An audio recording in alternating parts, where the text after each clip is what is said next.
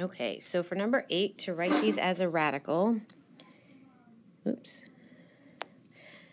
this one's going to be the fifth root of x. Now for b, we have to first change that to y, oop, sorry about that, to 1 over y to the 1 third to make our exponent positive. So that becomes 1 over the third root of y. And then for c, there's two answers, two ways you can write c we can do the cube root of z squared, or you can do the cube root of z all squared. All right, determine which exponent goes in the box. Um, because a starts in the denominator, to move it to the numerator, we have to make it negative and the square root is then 1 half. Uh, for b, the 4, the x, that's our numerator, and the 5 is the denominator. Now for c, this 18 gets applied to both here. I'm going to do that before I simplify my fraction. Um, so we can make that x so now 18 and 3 reduces to 6 times 2 gives us 12 in the numerator. If you do that over here, then 2, we can then do 2 times 6 gets me the 12. And then denominator, 18 divided by 6 is 3. So now I can subtract those exponents, and we get 9. Okay, so for D, I'm going to change the radical to a 1 half. And now, because we have a power to a power, we can multiply. And 1 half times 6 is 3. Okay, so now for E, we need to think what um, some what value minus 1 sixth will give us 2 thirds. Let me get some space here. So I can add the 1 6 this side. So we need a common denominator. That is 4 6 plus 1 6, which gives us 5 6.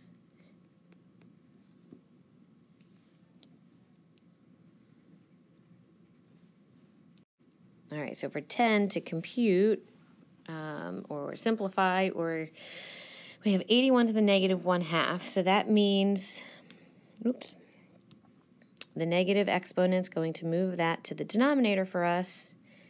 And I'm going to think of the 1 half as a square root. And the square root of 81 is 9, so that's 1 ninth. Now for b, I'm going to use my properties of exponents and write that as 27 to the 1 third squared because this is saying what times itself 3 times is 27. Well, that's 3 squared, so we get 9. Now for C, 1 to any power is still 1.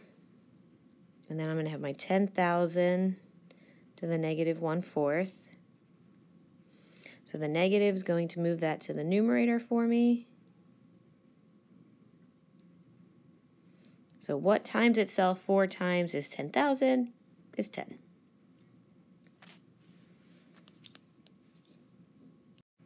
So then for 11, um, on the left-hand side of the equal sign, that's like saying x to the n over 4, and it has to equal x to the 8. Because these bases are the same, my exponents have to be equal. So that means n is 32. And then for b,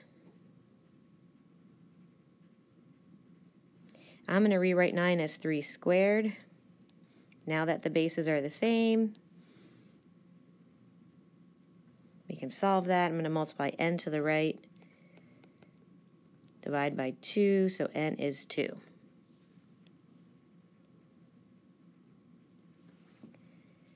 Okay, Sally solves a radical equation and it gets 25. Is the solution extraneous and justify your answer?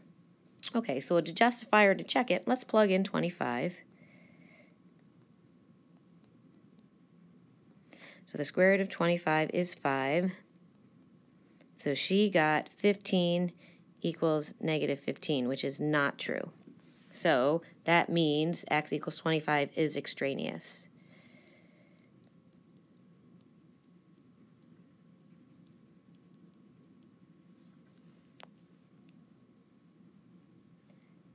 Okay, so now we get two answers for 13. We have to check both.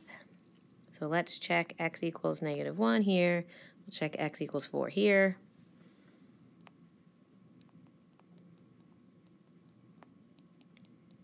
Um, I actually don't even have to go any further with negative 1. When you square root a number, you will never get a negative value. I could have determined that here as well. So this one is extraneous. So let's check 4. This is the square root of 12 plus 4, which is the square root of 16, which is 4. So x equals 4 is an answer. It's a solution. Another checking one for the extraneous. All right, so for 14,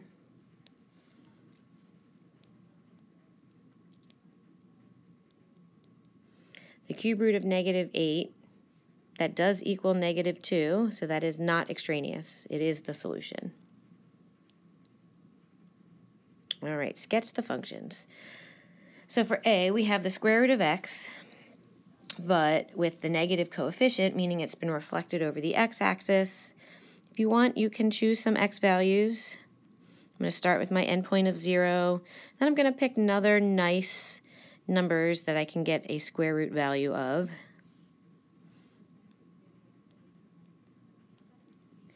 So 0, 0 is our endpoint. 1, negative 1, 4, negative 2.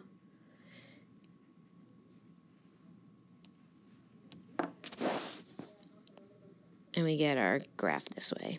It's supposed to stop at that endpoint. There we go. Uh, we could do the same thing for b. I know I can cube root any negative numbers. Negative 27 the cube root of that is negative 3, but I don't have x's that go to negative 27. So let's start with negative 8. And we'll go negative 1, 0, 1, and 8.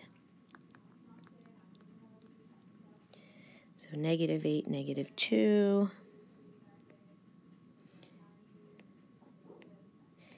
It would be really helpful um, when you're studying for your exam that if you know the general patterns of the parent graphs for square root and cube root and exponentials and all the graphs we've done this semester.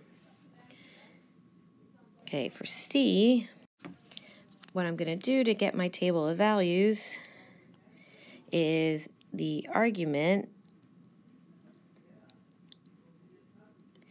I'm going to solve these little equations to get some nice points. I'm choosing these resulting values because those are the values that would be under the square root, which would get square rooted. So you notice 0, 1, 4, and 9 are all nice numbers that you can take the square root of.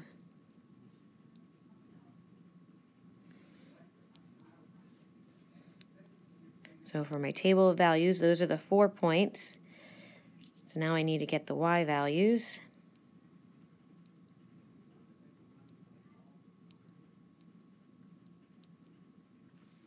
That's negative 3.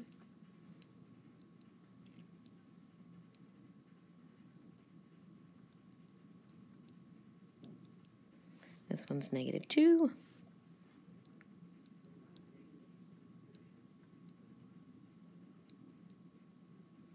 Negative 1.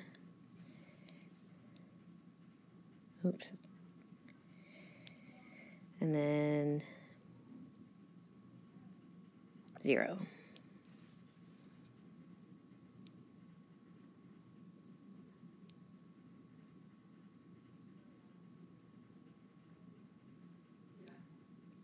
And because I know what a square root graph looks like, there is C.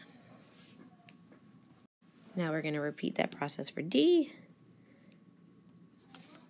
And because the argument is just x, I'm going to choose negative 8. That's sloppy, sorry. Let's fix that. Negative 8, negative 1, 0, 1, and 8. So to evaluate and get the y values,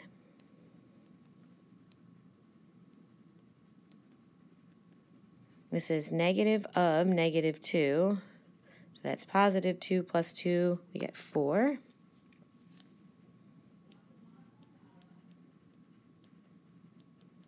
This is negative of negative 1 plus 2, that's 3.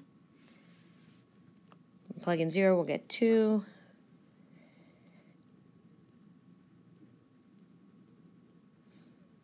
That's negative 1 plus 2.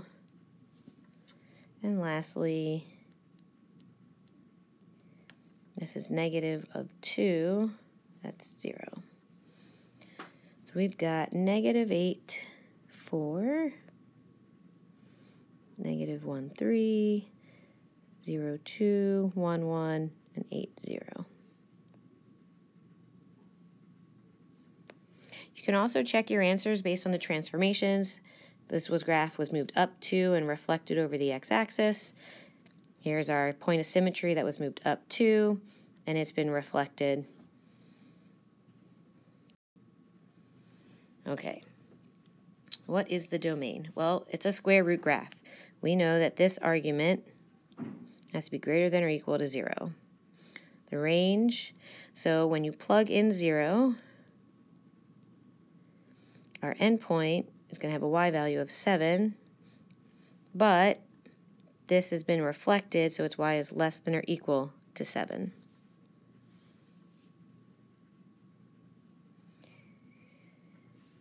Um, if I picture this graph,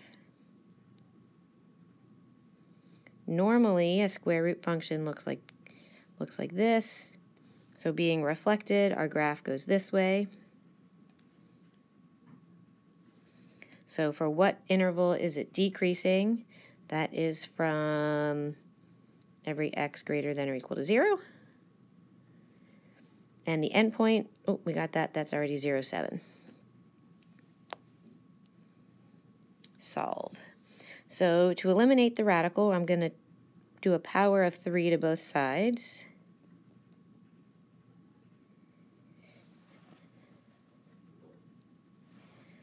And then divide by 5. So x is 200.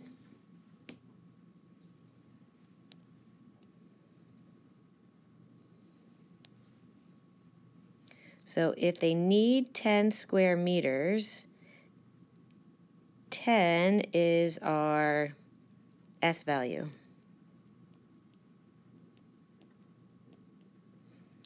Okay, so we'll square both sides to eliminate the square root.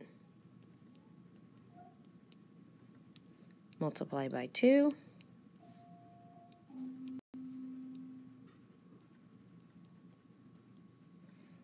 Add 5.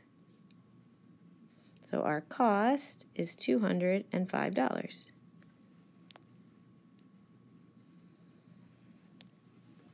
Okay, so for 19, in what year was the population 120,000? So population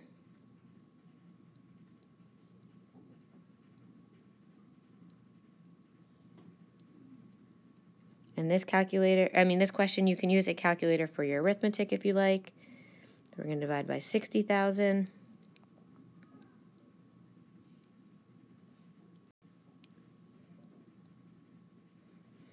That is 2.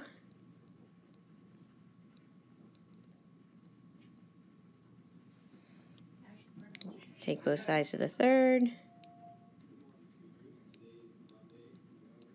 And add 1,970. So the year is 1978.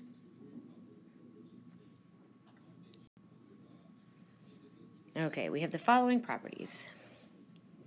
Domain is x is greater than or equal to 3. and the range is less than or equal to 1. So it's going to look like that. Write a function. So this one went to the right 3, up 1, and has been reflected over the x-axis. So that would look like that. Here's our up 1, right 3, reflected over the x-axis.